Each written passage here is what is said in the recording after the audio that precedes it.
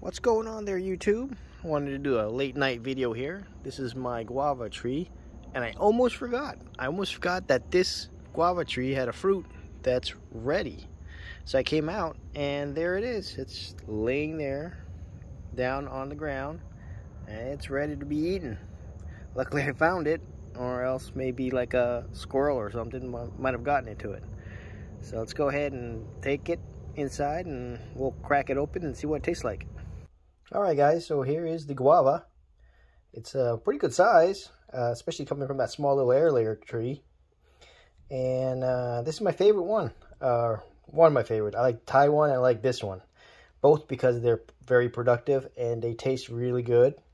So let's go ahead and crack it open and see what it uh, tastes like. Alrighty, I got my knife and we're just going to do it with one hand. Oh yeah, that's really nice and smooth.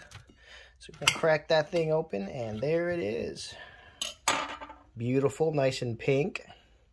There's a little divot down there. Like I said, it did fall off by itself. So we know it's uh, it's ready since it fell off by itself. And it smells really good. It smells like a nice uh, guava. I notice the seed. Not a lot of seed. I mean, there's seed, but it's not a ton. So let's go ahead and give it a taste. Oh yeah, that's delicious. It's got that nice guava flavor. It's very sweet. Um, very soft, buttery texture.